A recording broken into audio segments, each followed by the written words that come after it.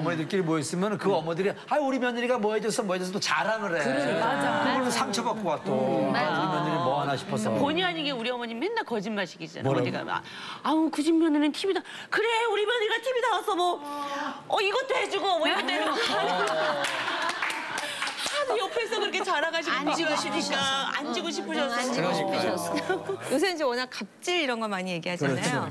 부모님, 시부모님 갑질을 하시는 경우가 생각보다 많이 있더라고요. 그러니까 내가 이 정도 해줬으니 며느리가 이 정도는 해야지. 그렇지 맞아 어, 맞아. 며느리가 일주일에 한 번은 안부 전화를 하고 집에 와서 밥을 먹고 어, 나와 맞아, 같이 맞아, 시간을 맞아. 보내줘야지. 뭐 아침 저녁으로 두 번은 연락을 해야지. 뭐 손주가 태어났으면 손주에 대해서 손주를 뭐 데리고 와서 날 보여줘야지.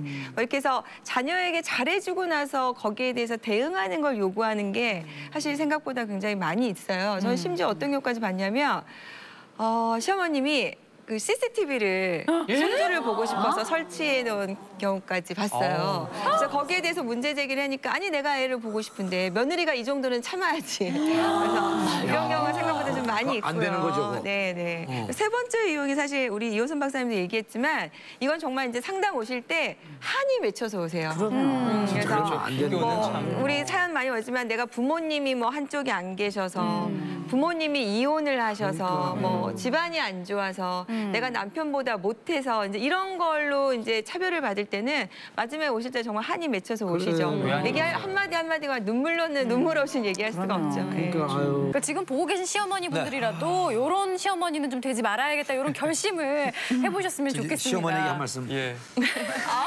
어머니 그러지 마세요. 어머니 저는 잘 지내고 있어요. 네 이번은 이제 시어머니에 이어서 고부 갈등을 유발하는 며느리 유형 알아보도록 하겠습니다. 그 첫 번째는요. 어머니 아 정말 애비 때문에 못 살겠어요. 남편 흉만 보는 며느리입니다. 이건 좀 엄마 싫어하겠다. 자 고부 갈등을 유발하는 며느리 유형 두 번째입니다. 어머니 그거는 어머님이 잘 모르셔서 그러는데요. 그게 사실은요 어머니. 무식하다고 무시하며 말대꾸하는 며느리입니다. 자 그리고 고부 갈등을 유발하는 며느리 유형 세 번째입니다. 아 정말 우리 시어머니 때문에 내가 못 살아. 너무 스트레스를 받아 내가. 아. 밖에 나가서 집안 험담하는 며느리입니다. 자 지금 세 가지 유형을 살펴봤는데 네. 우리 원종래 씨 이제 시어머니 입장에서 어떻습니까? 어떤 그 며느리의 유형이 좀 이렇게 와닿습니까? 고 아주 친절한 것 같이 하면서도요. 어머니가 뭐 잘 모르셔서 그러시는데요. 맞아. 기분 나쁘죠. 선생님 그 선생님 잘 모르셔서 그래요. 응, 아니 뭐 진짜 아기 갖고도 그런 게 많아요. 시어머니와 며느리 사이에 저도 보면 뭐 이유식 이런 거를 어머니 요즘에는 이렇게 먹인대요. 그러면 어머니들이 야 우리 때는 아무거나 먹어도 다 컸어. 이러면서 이러면서 이제 갈등이 그럼 그럴 때 뭐라. 그러세요? 아 저희 어머니는 그런 거 갈, 갈 터치를 안 하세요. 네, 이런 유형으로 이제 상담을 해 오시는 시어머니나 며느리들이 많으신가요? 그럼요. 아무래도 뭐 언제든지 주제를 바꿔가면서 발생할 수 있는 이야기잖아요. 근데 이게 진짜 어머니들이 제일 불편해하시고 힘들어하시는 것 중에 하나가 일단 무시형이에요. 그래, 맞아요. 어떤 사례가 있었냐면 이 어떤 아들이 있었는데 이 아들이 등갈비하고 김치를 굉장히 좋아하는 거예요. 등갈비찜 이렇게 또 해서 쫙 먹으면 얼마나 맛있어요. 그래서 엄마가 이거를 하- 늘 해서 먹였기 때문에 요 방식으로 해가지고 야 아가 그 등갈비찜은 요렇게 하고 김치는 요렇게 하는 거다 그랬 더니 이 며느리가 어머님 저희 애 아빠는요 백종원 스타일이에요.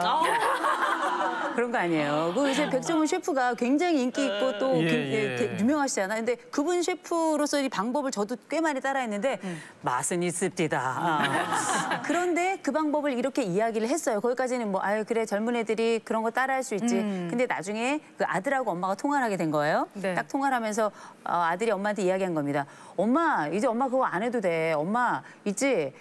배운 며느리가 다 알아서 하는 거야. 얘기를 한 거예요. 또 그 아들은 또 왜 그런데요? 아들 며느리가 쌍으로 무시를 아, 그러니까 이 며느리도 밉지만 이 아들이 더 미웠고. 속상한 거죠. 아들까지 그러나. 그러니까. 어, 저는 이렇게 보니까 그 며느리들에 대해서 어머님 오시면요. 보통 첫 번째하고 두 번째가 같이 있는 것 같아요. 첫 번째도 그러니까 그렇죠. 남편을 무시하는 며느리는 어머님도 무시하고요. 아. 어머님한테 그렇게 말대꾸하는 며느리는 남편한테도 똑같이 해요. 맞아 맞아. 그러니까 어머님이 이제 이렇게 생각하시는 거죠. 그래.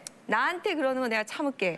그런데 내 아들한테는 네가 그러면 안 되지. 그러니까 이러다 보니까 오셔서 주로 하시는 얘기가 어, 만약에 이게 이제 이혼을 상담하실 때는 내 아들에게 이렇게 못했고 저렇게 못했고 뭐 셔츠도 안 해줬고 밥도 안 해줬고 뭐 이런 것들 다 시작을 하는데 그런데 우리 아들은 모르지만 사실은 나도 그렇게 당했다 이렇게 얘기를 하시거든요. 그래서 첫 번째, 두 번째가 그러니까 어, 상대방에 대한 배려